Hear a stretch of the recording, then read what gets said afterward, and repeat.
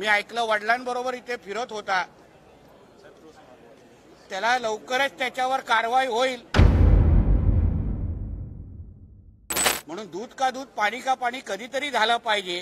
कारण का दिशा सालियांच्या ह्या केस निमित्ताने आजही लोकांना धमक्या येत आहेत. मला आणि आदित्य ठाकरेला आणि जे कोण आरोपी आहेत त्याच्यामध्ये संशय मला त्यांच्यासमोर बसवा. आणि त्यांच्यासमोर होऊन जाऊन दे. देशभर गाजत असलेल्या बहुचर्चित दिशा सालियन मृत्यू प्रकरणाची एस आय टी मार्फत चौकशी होण्याची शक्यता आहे. या पार्श्वभूमीवर नितेश राणे यांनी आदित्य ठाकरे यांच्यावर हल्लाबोल केला. आम्ही तिसऱ्या गिअरवर गाडी टाकली आहे खरा खुणी जो आहे तो विधानसभा परिसरात दिसला त्याच्यावर लवकर कारवाई होईल असंही राणे म्हणाले.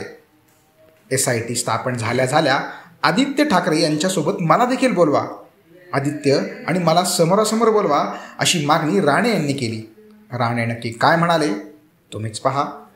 आमचं सरकार महायुतीच्या सरकारनी जो शब्द गेल्या डिसेंबर अधिवेशनमध्ये दिलेलं जिथे आम्ही एस आय टीची घोषणा आमच्या आदरणीय देवेंद्रजींनी केलेली आणि तेव्हापासूनच या संबंधित केसचा आम्ही निकाल लावणारच अशी तयारी आमच्या सरकारची होती. आणि त्यानुसार आता आम्ही तिसऱ्या गेअरवर गाडी टाकलेली आहे आणि लवकरच चौथ्या गेअरवर टाकू.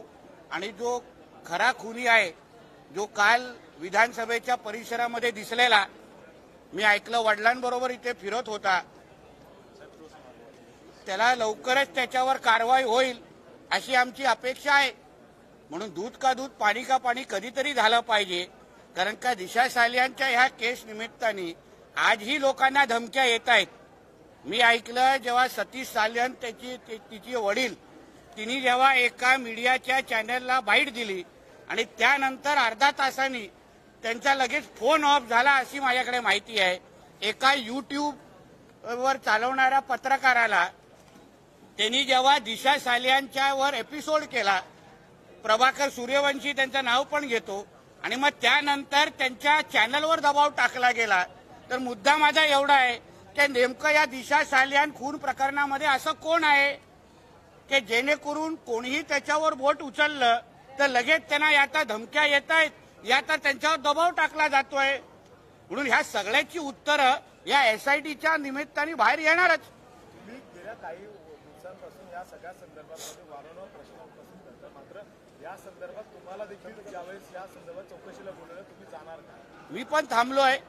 की एसआयटी स्थापन झाल्यानंतर मी आजच तुमच्या निमित्तानेच एसआयटीच्या टीमला विनंती करतो की स्थापन झाल्या झाल्या आदित्य ठाकरेच्या नंतर मला बोलवा किंवा आदित्य ठाकरे बरोबर समोरासमोर बसवा की बाबा हा आरोप करणारा आहे आणि ह्याच्यावर आरोप होत आहेत की हे जो आरोप करणार आहे त्याचे आरोप खरे आहेत का?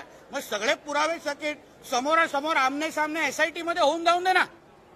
जेणेकरून नितेश राणे खरं बोलतायत खोटं बोलतायत ही सगळी माहिती बाहेर येईल. म्हणून जे काय आहे उद्या एसआयटीने मला बोलवलं तर मी नक्कीच जाईन. तुम्हाला पाहिजे तर त्यांच्या ऑफिसच्या बाहेरच थांबीन. आणि मी त्यांना विनंती करेन की मला आणि आदित्य ठाकरेला आणि जे कोण आरोपी आहेत त्याच्यामध्ये संशय मला त्यांच्यासमोर बसवा. आणि त्यांच्यासमोर होऊन जाऊन दे. काय करायचं ते करा आम्ही घाबरत नाही. म्हणजे आदित्य आदित्य ठाकरेला पोचवा आम्हाला तेच पाहिजे. हेच त्याचा अर्थ आहे. कारण का संशयित आरोपी फिरतायत. काल आपल्या विधानसभा परिसरामध्ये आलेले असं दिसतंय आम्हाला दिसलं. आता जेव्हा एसआयटीच्यावर कारवाई एसआयटीच्या माध्यमातून कारवाई होईल तेव्हा संशयित आरोपी हा आरोपी होऊन जाईल.